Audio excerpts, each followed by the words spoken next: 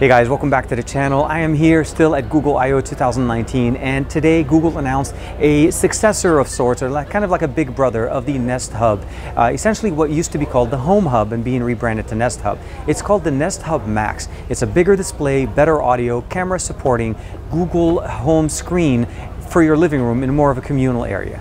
This is TK and this is XDA TV.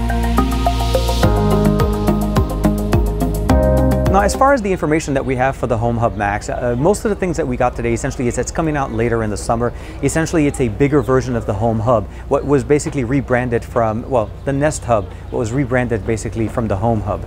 Uh, the overall experience itself is still very similar, very familiar. We have a 720p display on the front with a top camera that's rated in there. Uh, what we also have is a basically a better experience with audio with two tweeters on the front and a woofer on the back to give us much louder and much better sound experience.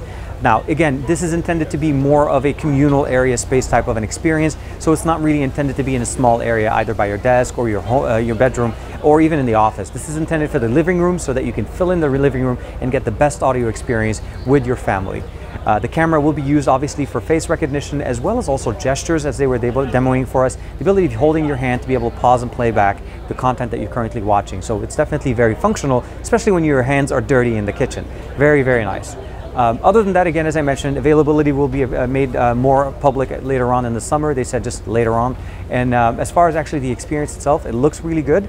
I had a chance to show you guys some of that footage from the experience that we had in there. I couldn't really play with it because my, my personal information wasn't on it, so I couldn't pull up any of my stuff. But I'm really looking forward to checking it out. Like and subscribe as usual. Thank you very much for the support. And make sure you check out my channel, and I'll see you guys in the next video.